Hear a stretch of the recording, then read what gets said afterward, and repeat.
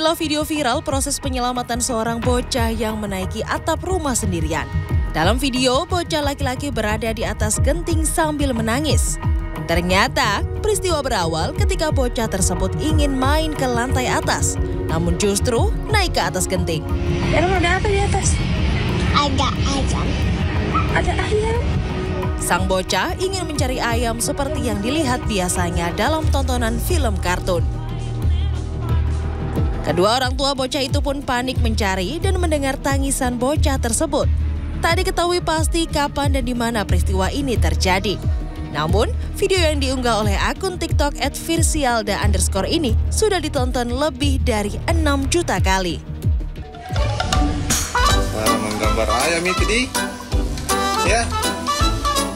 Nah, kalau yang satu ini ada bocah asal Makassar, Sulawesi Selatan yang bersahabat dengan seekor ayam. Terlihat dalam video, ayam yang dipelihara sangat menurut.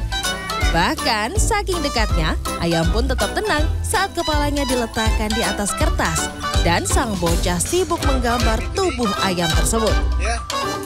Tingkah bocah yang diabadikan oleh ibunya ini pun viral dan berhasil menarik perhatian warganet. Saya begitu kan cara menggambar ayam?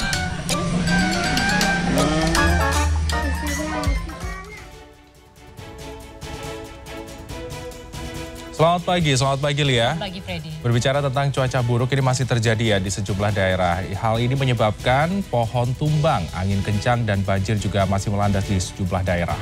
Selain informasi cuaca buruk, kita juga punya informasi yang akan mengajak Anda melihat dari dekat bisnis pangkat rambut asli Garut. Wow. Dan ini menjanjikan keuntungan berlipat ganda. Kayak Freddy aja pasti sering banget yang potong rambut. Kita Tentunya. akan bahas nanti. Bersama saya Lianita Ruhyat. Dan saya Freddy Cahya, inilah redaksi pagi mendalam terpercaya.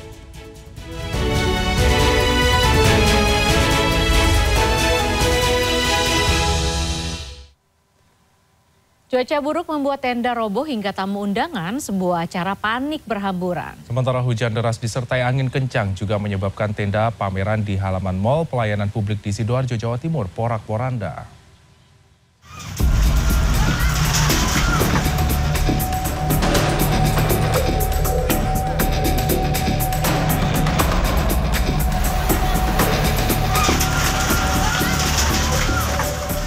Video amatir warga merekam detik-detik tamu undangan berteriak saat tenda tiba-tiba roboh diterjang angin kencang pada Senin siang. Tamu yang terdiri dari ASN serta pejabat Kabupaten Pulau Taliabu panik dan berlarian keluar tenda saat acara peresmian kantor pengadilan negeri. Meski sejumlah tenda roboh, acara peresmian tetap berlangsung hingga selesai.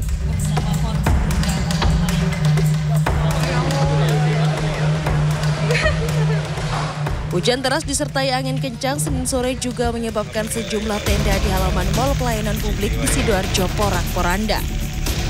Ini sudah lama kayak gini. Setiap banjir gini. Setiap banjir. Heeh. Ketinggian berapa nih biasa? Paling tinggi? Ketinggian paling enggak itu setengah meter, 60 lah. 5 meter ya. Enggak ya. Selain tenda yang rusak, di desa Bligo Sidoarjo sejumlah pohon juga ikut tumbang. Banjir setinggi 60 cm juga terjadi di permukiman warga termasuk di sebuah pabrik sepatu. Tim Liputan CNN Indonesia. Sebuah pohon besar di Kabupaten Pasuruan, Jawa Timur roboh mengenai truk bak terbuka. Sementara di kota Makassar, Sulawesi Selatan, satu minibus juga ringsek tertimpa pohon besar. Pohon tersebut tumbang saat diterjang hujan deras disertai angin kencang.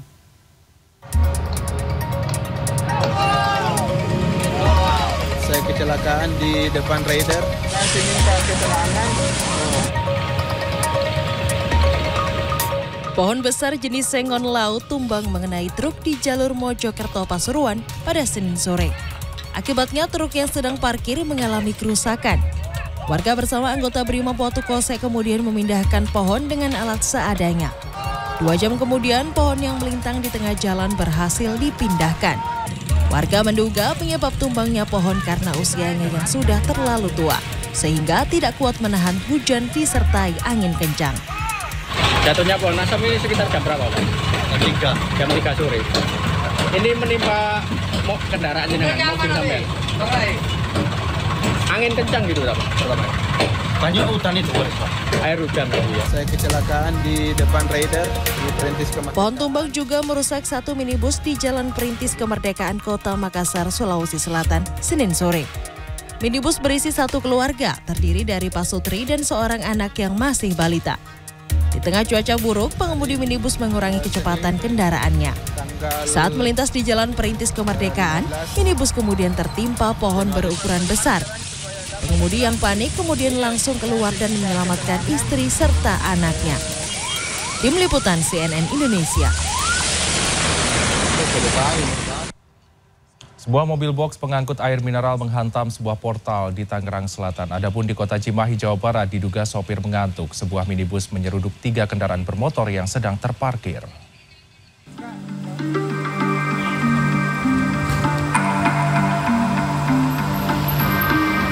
Tugu, portal Jalan Provinsi. Sebuah mobil box pengangkut air mineral tertimpa portal di kawasan Puspitek Setu, Tangerang Selatan, Banten, Senin siang. Kejadian berawal saat mobil box pengangkut air mineral melaju dari Gunung Sindur Bogor menuju Serpong, Tangerang Selatan. Setiba di lokasi, mobil box menabrak sebuah portal dengan ketinggian 2,1 meter. Akibat kejadian tersebut, mobil mengalami rusak parah di bagian kaca depan karena tertimpa portal. Sopir mobil box Sahrul mengaku tidak melihat portal yang ternyata telah dipendekkan itu. Sebuah minibus menyeruduk tiga kendaraan bermotor yang sedang terparkir di kawasan Gandawijaya, Kota Cimahi, Jawa Barat. Menurut keterangan warga, mobil melaju dengan kecepatan cukup tinggi. Namun saat di lokasi kejadian, ada warga yang menyeberang jalan. Diduga sopir mengantuk dan kaget saat ada warga yang menyeberang jalan sehingga membuat sang sopir membanting setir kendaraan ke kiri jalan. Hingga akhirnya menghantam tiga kendaraan bermotor yang terparkir. Selain menyeruduk tiga kendaraan bermotor, dua pejalan kaki menderita luka karena sempat tertabrak mobil saat menyeberang jalan dan langsung dibawa ke rumah sakit. Peristiwa tersebut kini dalam penanganan Satlantas Polres Cimahi. Tim Liputan CNN Indonesia. Kebakaran melanda sebuah tempat karaoke di kota Tegal, Jawa Tengah. Enam pemandu lagu meninggal akibat mengalami sesak nafas. Kebakaran juga menghanguskan tiga bangunan di seberang rumah dinas Ketua DPRD Kabupaten Agam, Sumatera Barat. Sebuah tempat karaoke Orange di kota Tegal terbakar. Sebanyak 13 orang pemandu lagu dan pegawai karaoke terjebak di dalam kamar yang berada di lantai dua. Proses evakuasi pun berlangsung dramatis. Petugas mengerahkan krain dan harus membobol tembok di lantai atas untuk mengeluarkan para korban. Akibat kejadian itu, enam orang pemandu lagu meninggal dunia. Saat kejadian, mereka terjebak karena tengah tertidur lelap. Kebakaran diduga akibat hubungan arus pendek di ruang depan lantai dua. Arus pendek itu menimbulkan percikan api dan menimbulkan asap tebal. Enam korban tewas itu sekarang sudah berada di RSUD Kardinah, Kota Tegal. Pihak RSUD Kardinah menyebut mereka tewas karena sesak nafas akibat gas CO2. Senin sore, polisi melakukan olah tempat kejadian perkara untuk mengetahui penyebab pasti kebakaran. Hasil sementara mengungkap, kebakaran diduga dipicu oleh korsleting listrik. Oh, kalau titik api diduga dari atasnya musola karena tadi yang banyak sekali ada uh, kebakaran dari musola ramai seperti itu. Teman untuk apinya tidak tidak menjalar hanya banyak asapnya diduga banyak asap tebal kemungkinan itu dari kabel-kabel yang terbakar mungkin sehingga baunya menyengat. Peristiwa kebakaran juga terjadi di seberang rumah dinas Ketua DPRD Kabupaten Agam, Sumatera Barat, Senin siang. Api yang menjalar dengan cepat menghanguskan tiga bangunan yang ada di Jalan Muhammad Hatta, Kota Lubuk Basung, yakni ibu kota Kabupaten Agam. Dua di antara tiga bangunan yang terbakar adalah warung makan dan usaha fotokopi. Sementara satu bangunan lainnya merupakan rumah tinggal. Untuk menjinakkan api, petugas menerjunkan empat mobil pemadam kebakaran. Api baru berhasil dipadamkan dua jam kemudian. Salah seorang warga bernama Alzar Amir mengalami luka bakar ringan karena berusaha memadamkan api dengan alat seadanya sebelum tim damkar tiba. Korban langsung dilarikan ke RSUD Lubuk Basung. Kapolsek Lubuk Basung AKP Muswar Hamidi menyebut dugaan sementara penyebab kebakaran adalah karena adanya kebocoran gas LPG di bangunan warung makan. Polisi masih mendalami kasus kebakaran ini. Tim Liputan CNN Indonesia.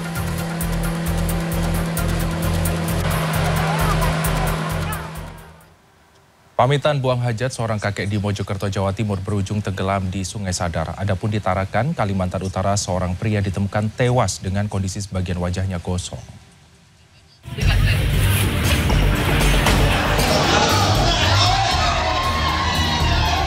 Eh, udah gede ya? Seorang kakek bernama Suratman berusia 78 tahun tewas tenggelam di dasar Sungai Sadar, Kecamatan Pungging, Kabupaten Mojokerto, Senin siang. Korban pun langsung dievakuasi dan dibawa ke rumah sakit Profesor Dr. Sukandar untuk diotopsi. Cucu korban yang berada di lokasi menangis haru, tak menyangka jika korban meninggal karena tenggelam di Sungai Sadar. Menurut keterangan Kepala Dusun Ngerame Abdul Hamid, korban berpamitan hendak buang air besar ke Sungai Sadar yang ada di depan warung kopi. Tak berselang lama, beberapa warga mendengar suara teriakan korban meminta tolong, sehingga membuat salah satu warga menghampirinya, namun korban terlihat tenggelam.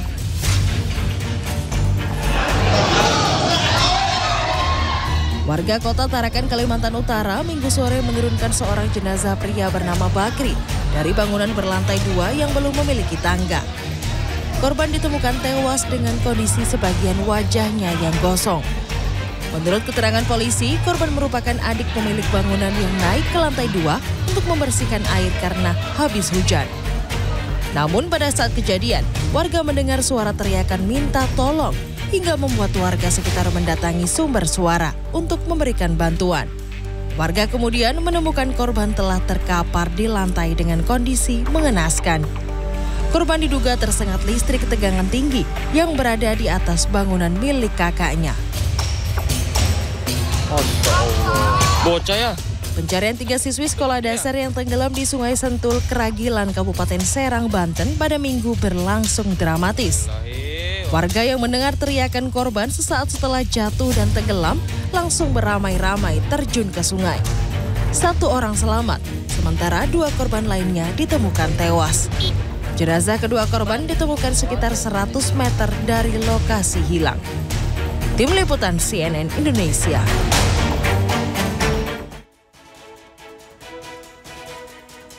Puluhan pemuda mengeroyok satu orang viral di media sosial diduga para pelaku adalah anggota perguruan silat yang menyerang korban secara acak saat konvoy. Informasi selengkapnya kami sajikan sesaat lagi. Redaksi pagi segera kembali.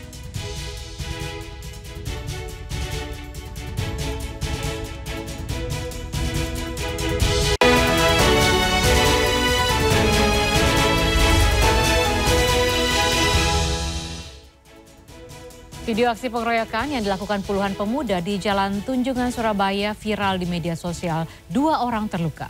Sementara di Cirebon, Jawa Barat, dua kelompok remaja terlibat tawuran dan terekam kamera warga.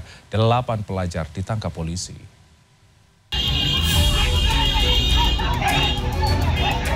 Inilah aksi pengeroyokan yang dilakukan sekelompok pemuda di sekitar Jalan Tunjungan Surabaya, Jawa Timur pada minggu malam dan videonya viral di media sosial.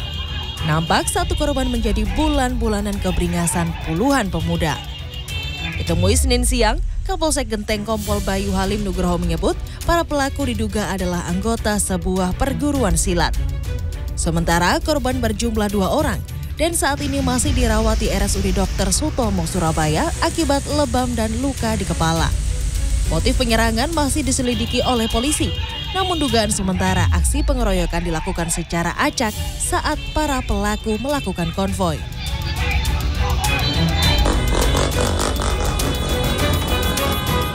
Aksi tawuran antar kelompok pelajar pecah di tengah Jalan Pemuda, Kecamatan Kesambi, Kota Cirebon, Jawa Barat, Senin petang.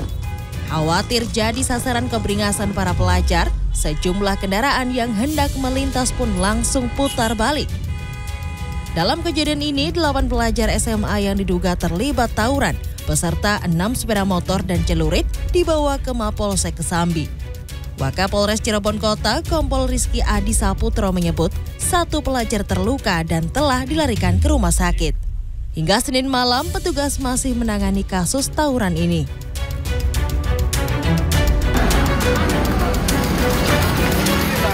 Konvoi puluhan remaja bermotor dan membawa senjata tajam terjadi di seputaran Jalan Kiai Haji Dewantara, Rantau Selatan, Labuhan Batu pada Sabtu malam. Menurut warga setempat, aksi remaja ini sudah berlangsung beberapa kali setiap Sabtu malam dan membuat resah warga.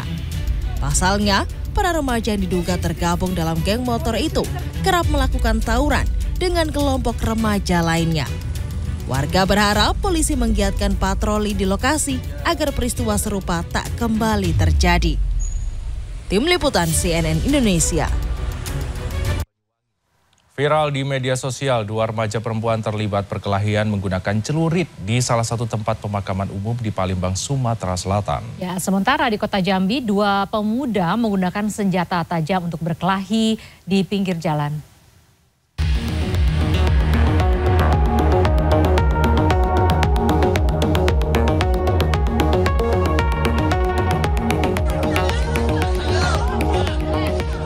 Video aksi perkelahian dua remaja perempuan menggunakan celurit di salah satu tempat pemakaman umum di Palembang, Sumatera Selatan, viral di media sosial. Dalam video singkat itu, seorang remaja perempuan menggunakan baju hitam celana jeans biru berkelahi dengan seorang remaja perempuan lain menggunakan jaket hitam celana merah muda. Keduanya membawa celurit saat berkelahi dan disaksikan oleh teman-temannya. Salah seorang pekerja di lokasi TPU itu menyatakan, memang benar kejadian tersebut terjadi di TPU tempat ia bekerja. Namun belum diketahui pasti kapan peristiwa itu berlangsung.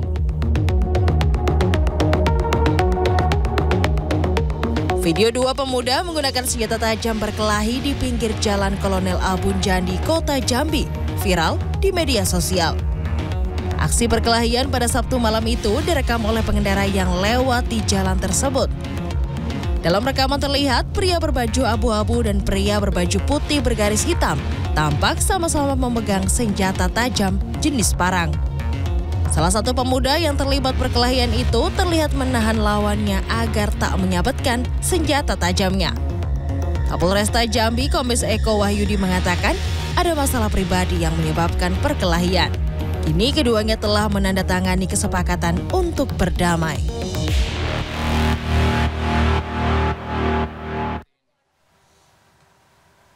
Seorang nenek di Boyolali, Jawa Tengah diculik saat akan membeli sarapan pagi di tengah jalan. Perhiasan korban senilai 50 juta rupiah dirampas oleh pelaku. Korban kemudian diturunkan di pinggir jalan raya. Sementara di Karawang, Jawa Barat, seorang buruh pabrik menjadi korban begal dan berujung meninggal dunia. Selengkapnya kami rangkum dalam Kriminal 24 Jam.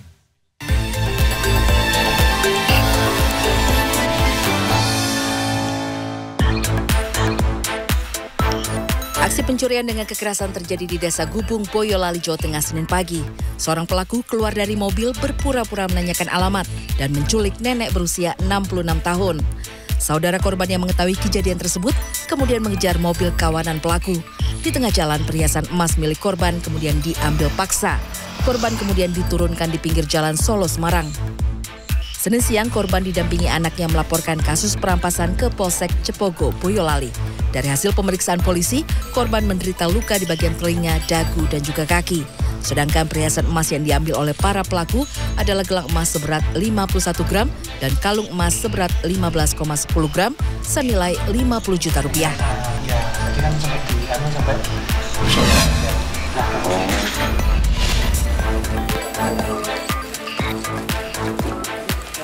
Dua pelaku tindak perdagangan orang di Bekasi, Jawa Barat ditangkap tim Reskrim Polres Metro Bekasi Kota Senin siang. Keduanya diringkus polisi setelah terbukti menjual delapan wanita. Dua di antaranya masih tergolong anak di bawah umur. Korban dijual ke sejumlah pria hidung belang melalui jasa sebuah aplikasi. Kasus terungkap setelah salah satu korban melapor ke polisi. Dalam sehari, korban dipaksa melayani 3 sampai 4 pria hidung belang.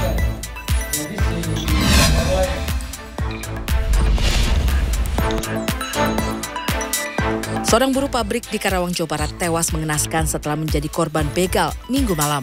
Polres Karawang Senin sore memeriksa 27 titik yang terpasang CCTV di dekat lokasi kejadian. Dari rekaman CCTV, petugas kemudian mengidentifikasi dua pelaku dan melakukan pengejaran. Tim Liputan CNN Indonesia. Kita beralih ke informasi lain. Puluhan hektar areal perkebunan nanas di lereng Gunung Kelut, Kabupaten Kediri, Jawa Timur menjadi wahana wisata baru. Selain berwisata, para pengunjung juga diajari cara membuat strudel olahan dari buah nanas. Dan juga nih buat Anda yang doyan kuliner berbahan jamur tiram ya, di Kota Parepare, Sulawesi Selatan, ada kafe dengan sajian aneka olahan jamur.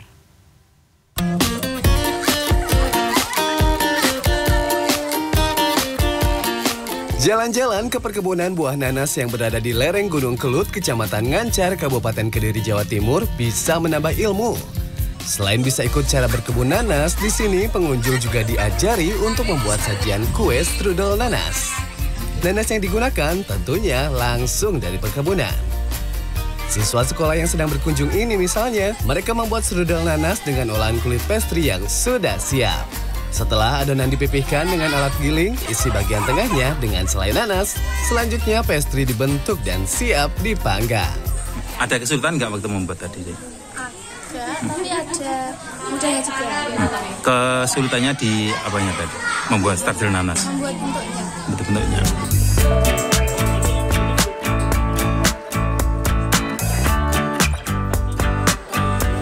Kita bergeser ke Parepare, Sulawesi Selatan. Kulinernya masih yang berbahan tanaman yaitu jamur tiram. Ada tahu isi, sate, hingga nugget dan ini semua menggunakan bahan dasar yang sama yaitu jamur tiram. Yang menjadi unik adalah jamurnya berasal dari hasil budidaya mandiri pemilik kafe.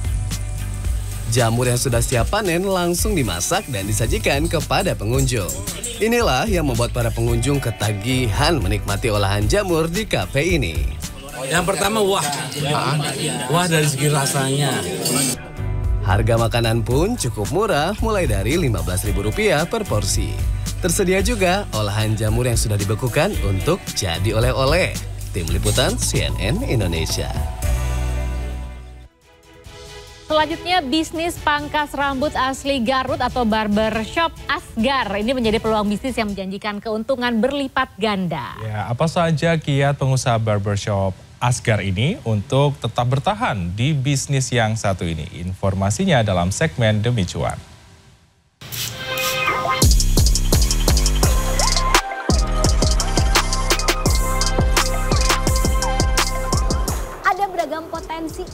Atau bisnis yang bisa menghasilkan keuntungan atau cuan tidak hanya bagi pemiliknya namun juga bagi para pekerjanya. Salah satunya adalah bisnis pangkas rambut atau barbershop asli Garut yang kita kenal dengan Asgar. Nah, bagaimana tips and trik agar membuat keuntungan yang berlipat ganda dalam bisnis ini? Simak informasinya dalam Demi Cuan.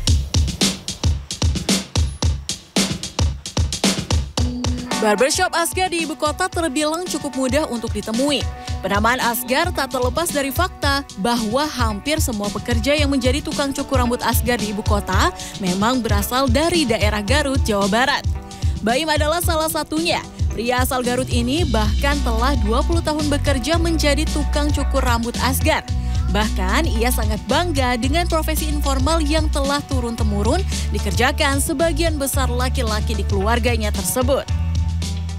Mungkin karena faktor keturunan juga ya, faktor keturunan dari orang tua. Terus sekarang pangkas rambut itu bukan pekerjaan yang istilahnya kalau dulu dilihatnya uh, sepele gitu. Tapi sekarang udah banyak orang-orang uh, yang sukses dari pangkas rambut tersebut.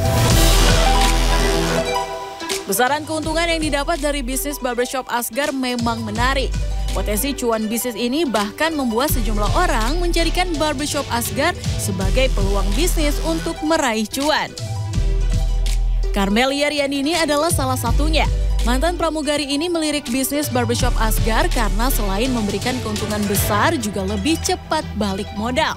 It's a really good business kalau orang-orang mau uh, apa namanya mau bergerak di bidang ini gitu ya. Untuk saat ini sih sampai sekarang kebetulan Asgar memang kita berputar itu udah 10 tahun, kebetulan di empat lokasi.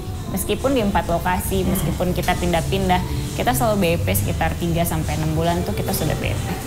Jadi mungkin itu yang menarik buat banyak orang ya. Cuman memang tantangannya tadi lebih ke SDM-nya. Hal senada juga diungkapkan Baim yang juga sempat memiliki barbershop Asgarnya sendiri. Bagi Baim, barbershop Asgar merupakan usaha yang sangat menguntungkan tak hanya bagi pemilik namun pekerja seperti dirinya.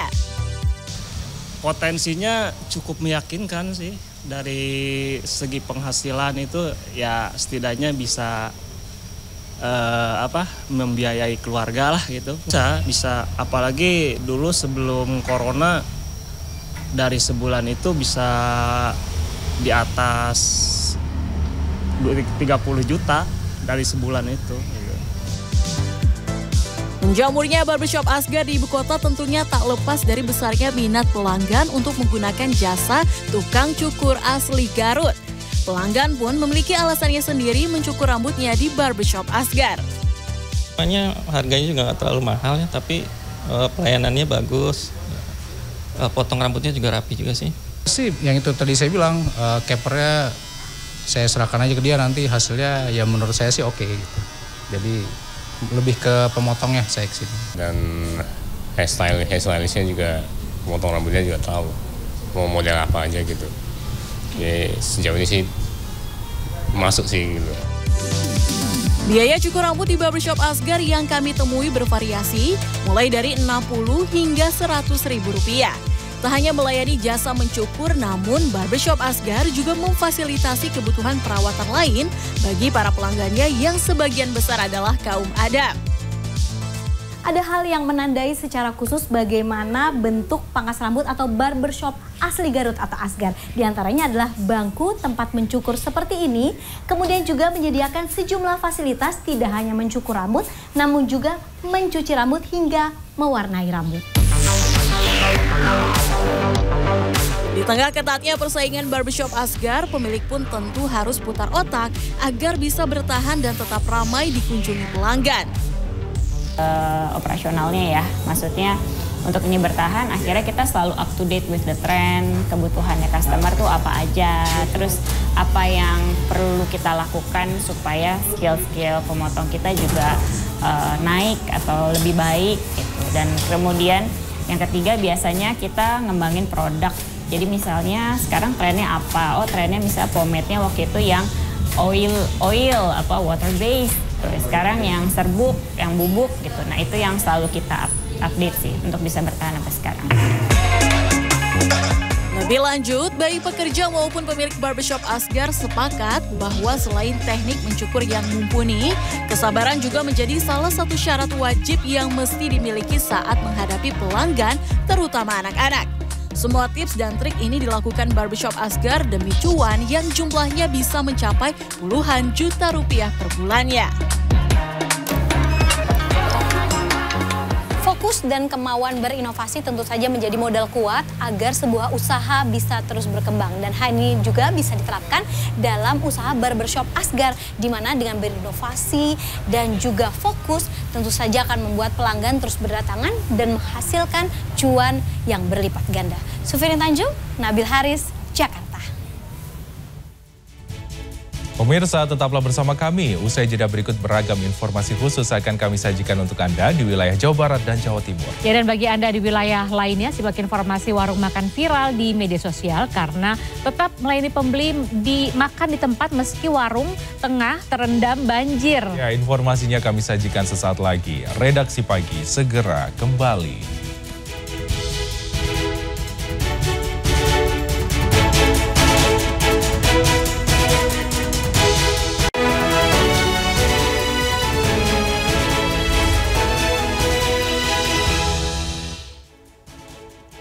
Masih menyaksikan redaksi pagi, sebuah warung makan di kawasan Dayeh Kolot, Kabupaten Bandung, viral di media sosial lantaran tetap buka dan melayani para pembeli meski tengah terendam banjir setinggi 60 cm. Adapun di Jakarta Timur, sebuah mobil ambulans yang tengah melintas di Jalan DI Panjaitan dilempari batu oleh orang tidak dikenal hingga mengakibatkan kaca depan mobil pecah. Rekaman videonya juga beredar luas di media sosial. Yang penting mangan bro, mangan no. Tetap buka, tetap melayani. Video tentang sebuah warung makan yang tetap melayani pembeli meski sedang terendam banjir viral di media sosial. Ranil, kebanjiran, banjir, banjir. Video tersebut diunggah di akun Instagram @bandung.panget. Dalam unggahan itu disebutkan warung tersebut berada di kawasan Kampung Sukabirus, Desa Citerep, Kecamatan Dayakolot, Kabupaten Bandung, Jawa Barat. Dalam video tampak pelanggan yang tetap menikmati makanan sambil duduk di bangku meski kakinya terendam air. Selain itu video juga menunjukkan kondisi dapur di mana ketinggian air banjir nyaris menyentuh kompor. Pada Senin, sang pemilik warteg Rati Purwati menyebut peristiwa tersebut terjadi pada Kamis malam lalu setelah wilayah Bandung Raya diguyur hujan dengan intensitas tinggi. Rati juga menuturkan warung makan sempat tutup dua hari pasca kejadian tersebut. Awalnya sih jam 7 masih biasa, air baru sampai situ kan. Terus pas jam 8 air udah mulai ke sini. Nah, pas itu langsung bludak aja ke sini langsung. Sebuah mobil ambulans yang tengah melintas di Jalan DI Panjaitan Jakarta Timur pada Minggu dilempari batu oleh orang tak dikenal hingga mengenai kaca bagian depan mobil. Pengemudi mobil ambulans pun langsung turun dari mobil dan mencoba mengejar pelaku yang melempari mobilnya dengan batu. Namun pria tidak dikenal tersebut langsung melarikan diri. Tidak hanya mobil korban yang dilempari batu, beberapa mobil yang tengah melintas juga dilempari batu oleh pelaku. Namun lemparannya tidak mengenai mobil yang lainnya. Korban telah melaporkan kejadian tersebut ke pihak Mapolres Metro Jakarta Timur dan saat ini masih dalam penyelidikan. Tim Liputan CNN Indonesia. Gunung Semeru kembali mengalami letusan hingga mengakibatkan terbentuknya kolom abu setinggi 1000 meter di atas puncak kawah. Sementara di Flores Timur, Nusa Tenggara Timur, Gunung Lewotobi laki-laki juga kembali erupsi. Warga diimbau tetap tenang namun waspada. Selengkapnya kami rangkum dalam Indonesia, Indonesia 24 Jam.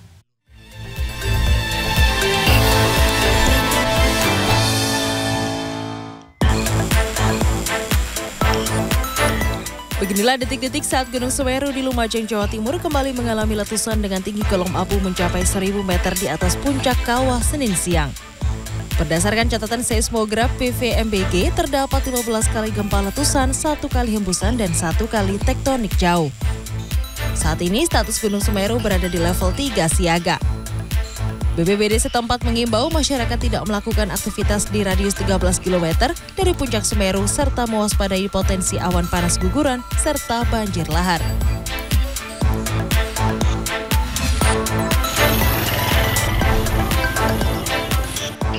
Pasca peningkatan status siaga ke awas, Gunung Lewotobi laki-laki di Kabupaten Flores Timur, Nusa Tenggara Timur kembali mengeluarkan material vulkanik pada Senin siang pukul 13.21 Wita.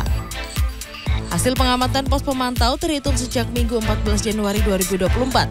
Hingga Senin siang telah terjadi 34 kali gempa letusan dan 8 kali guguran awan panas. Dengan jarak luncur 1,5 km mengarah ke utara dan timur laut. Warga diimbau tetap tenang dan menjauhi area yang dilarang untuk beraktivitas, yakni 4 km dari pusat erupsi.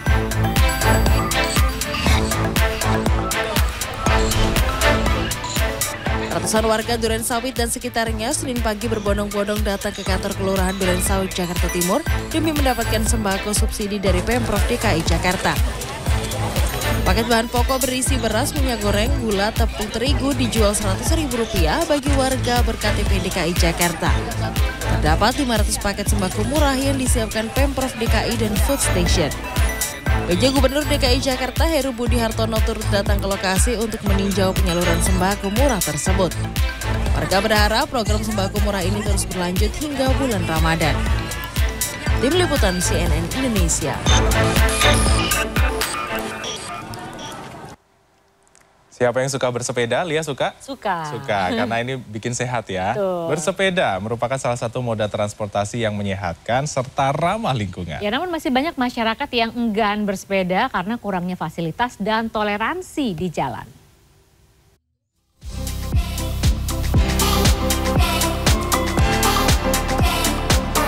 Demi mendukung transportasi yang berkelanjutan dan ramah lingkungan, sudah terdapat beberapa sarana parkir sepeda yang terletak di area transportasi umum. Seperti yang ada di stasiun LRT Harjamukti Cibubur, Jawa Barat. Sudah ada beberapa masyarakat yang memanfaatkan sarana parkir sepeda ini.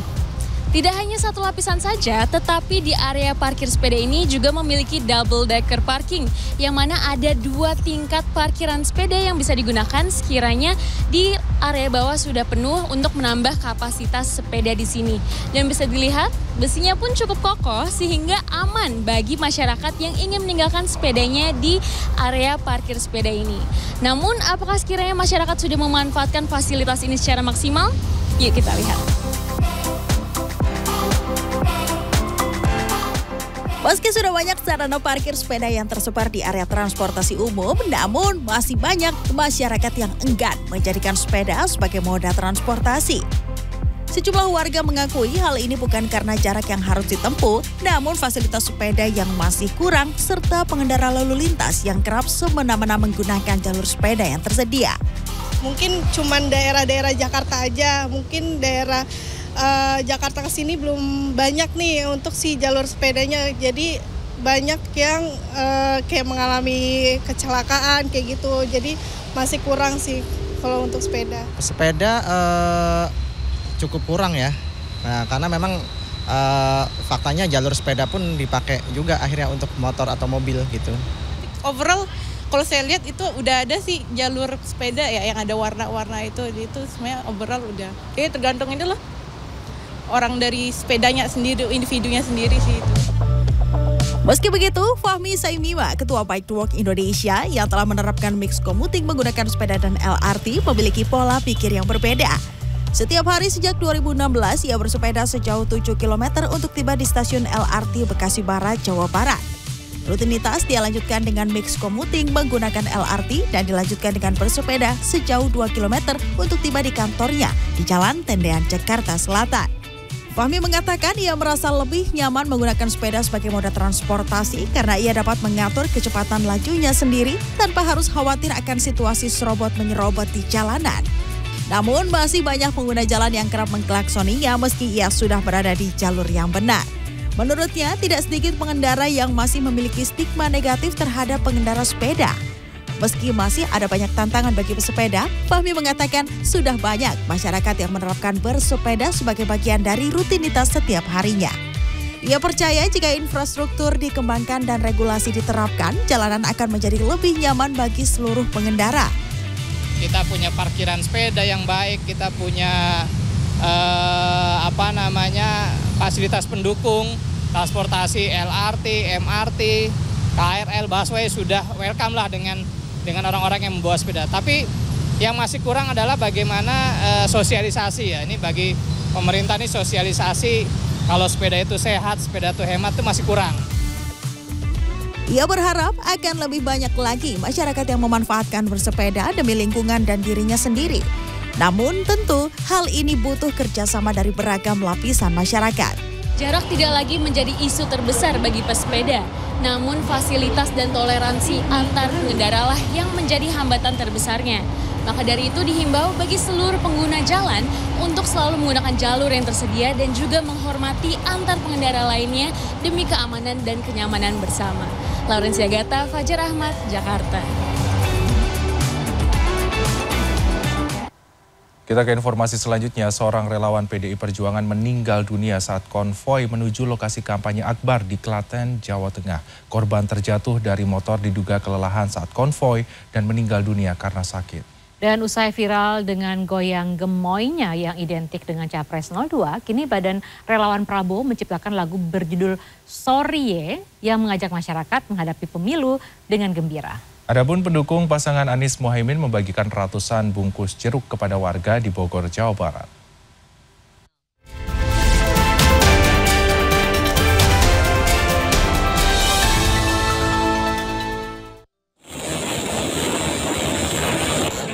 Nasib naas menimpa seorang relawan dari PDI Perjuangan yang meninggal dunia saat mengikuti konvoi kampanye akbar ratusan relawan di lapangan Ngendo, Jogonalan, Klaten, Jawa Tengah pada minggu siang.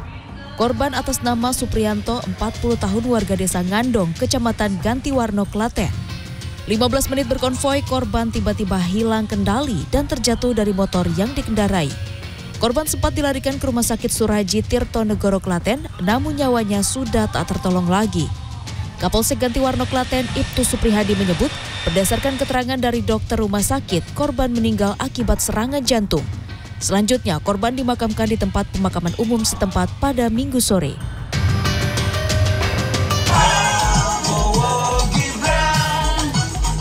Berlokasi di Rumah Joglo Nusantara Pengasinan Depok, Jawa Barat, Badan Relawan Prabowo BRP melakukan goyang gemoy yang diiringi dengan lagu berjudul Sorry Ye yang baru tercipta.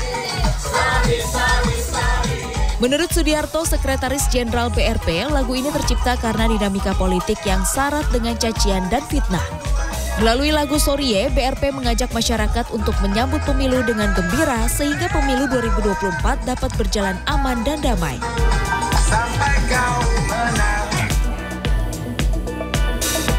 Sementara untuk mendulang suara di Pilpres Pemilu Legislatif 2024 mendatang, kader PKS pendukung pasangan Anies Muhaimin di Bogor, Jawa Barat membagikan ratusan bungkus jeruk serta kalender ke setiap pengguna jalan di Jalan Raya Mega Mendung Puncak Bogor. Selain itu, jeruk juga dibagikan kepada warga peserta senam yang menggunakan topeng bergambar wajah Anies di Kampung Sukamaju di Desa Sukamaju, Kecamatan Mega Mendung, Bogor. Menurut salah satu kader PKS yang juga caleg DPRD Bogor, Arif Firmansyah mengungkapkan, jeruk dijadikan alat kampanye karena dinilai menyerupai kemiripan paslon yang diusung oleh partainya. Menurutnya, pasangan Amin memiliki gagasan yang segar untuk Indonesia. Tim Liputan CNN Indonesia. Calon Presiden nomor urut 3 Ganjar Pranowo melakukan safari politik di Kabupaten Purbalingga, Jawa Tengah. Sementara Anies Baswedan melanjutkan kampanyenya di Sorong, Papua. Ya, adapun Prabowo Subianto menghadiri acara Natal bersama Kementerian BUMN.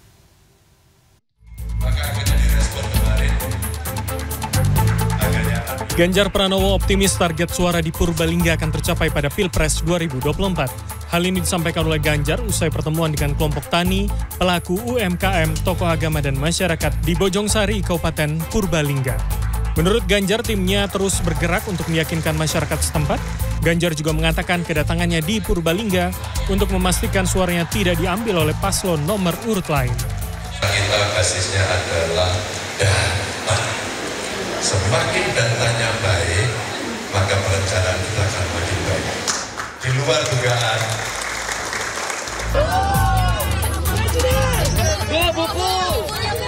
Optimisme juga dirasakan calon presiden nomor urut 1 Anies Rashid Baswedan saat tiba di kota Sorong, Provinsi Papua Barat Daya, guna melanjutkan kegiatan kampanyenya pada Senin malam.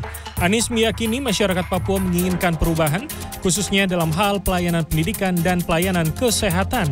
Anies dijadwalkan akan menghadiri sejumlah kegiatan di kota Sorong, mulai dari berdialog dengan sejumlah elemen masyarakat, menghadiri kampanye tertutup, serta mengikuti acara Papua mendesak Anies. Nah, jadi kami berharap juga dalam kunjungan ini nantinya melihat hal-hal yang bisa kita dorong untuk bisa membuat Papua makin maju dan merasakan keadilan. Karena kita tahu bahwa Papua memiliki kekayaan alam yang luar biasa. Sementara calon presiden nomor urut 2 yang juga Menteri Pertahanan Prabowo Subianto menghadiri acara Natal bersama dengan Kementerian Badan Usaha Milik Negara di Senayan, Jakarta. Prabowo hadir bersama dengan Menteri BUMN Erick Thohir dan Menteri Agama Yakut Kolil Kaumas. Tim Liputan CNN Indonesia.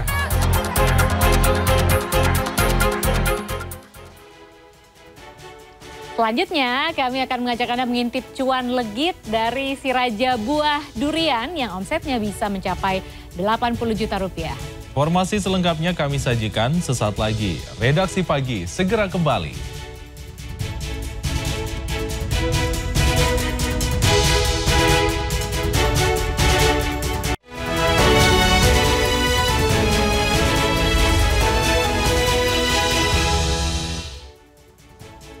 Mau menikmati sensasi segarnya buah melon langsung dari pohon? Nah, mumpung wisata petik buah melon di Kudus, Jawa Tengah lagi panen nih. Di sana ada berbagai jenis buah melon khas dari berbagai negara loh. Wah, jadi bebas milih mana yang disuka ya Lia. Yeah. Sementara kalau buat Lia dan juga Anda pemirsa yang ingin merasakan legitnya si raja buah alias durian, bisa berkunjung ke wisata petik durian berbagai varian yang ada di Lamongan, Jawa Timur.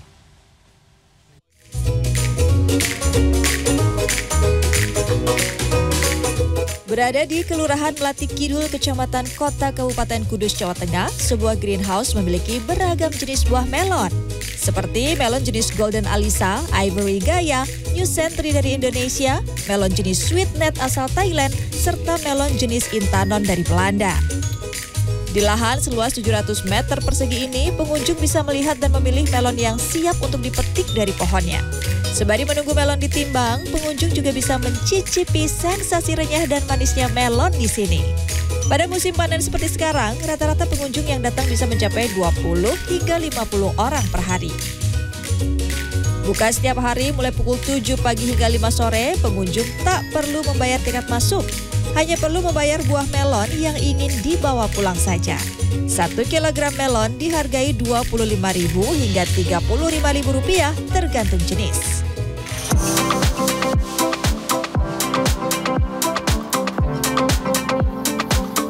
Bergeser ke Lamongan, Jawa Timur, tepatnya di Desa Sugihan, Kecamatan Solokuro. Di kebun durian seluas satu hektar ini terdapat sekitar 50 pohon durian berbagai jenis.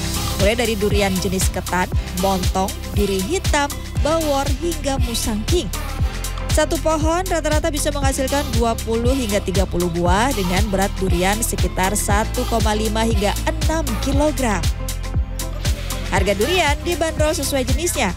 Durian ketan dihargai Rp70.000 per kilogram, montong Rp75.000 per kilogram, duri hitam dan bawor Rp85.000 per kilogram, dan jenis musangking yang dibanderol Rp120.000 per kilogram.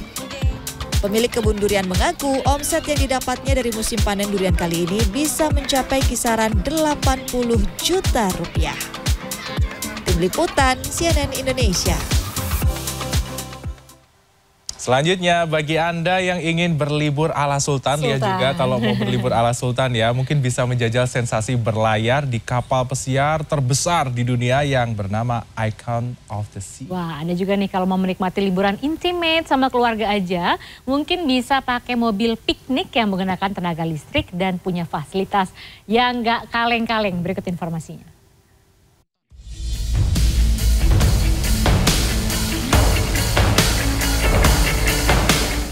Perusahaan kapal pesiar Royal Caribbean sedang bersiap meluncurkan kapal pesiar terbaru dan terbesar miliknya yang diberi nama Icon of the Seas. Kapal mewah ini diklaim menjadi kapal pesiar terbesar di dunia dengan kapasitas 10.000 penumpang. Eits, tak hanya itu, kapal ini juga dirancang dengan delapan tempat berbeda di dalamnya, seperti ada ruang terbuka hijau, wahana air dengan enam seluncuran, 40 restoran dan bar dengan berbagai konsep, kamar tidur mewah, dan masih banyak lagi fasilitas menyenangkan lainnya. Hal ini dilakukan untuk memanjakan para penumpang yang berlayar dengan kapal ini nantinya. Perjalanan perdana Icon of the Seas akan berlangsung pada 27 Januari mendatang dari Miami menuju Karibia Timur.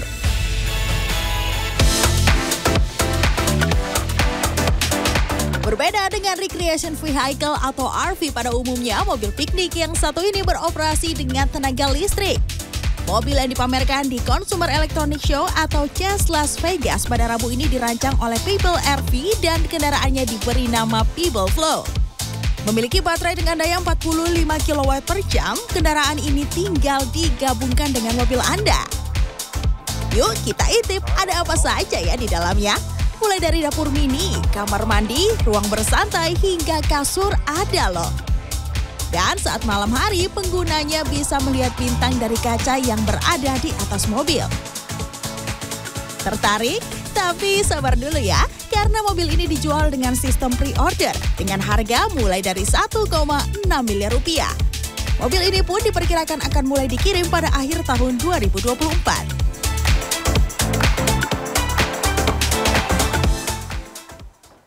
Pemirsa kembali kami ingatkan Anda segeralah download Alobank dan upgrade ke Alo Prime untuk mendapatkan beragam keuntungan. Dan informasi ini sekaligus mengakhiri redaksi pagi kali ini. Terima kasih atas kebersamaan Anda dan sampai, sampai jumpa. jumpa.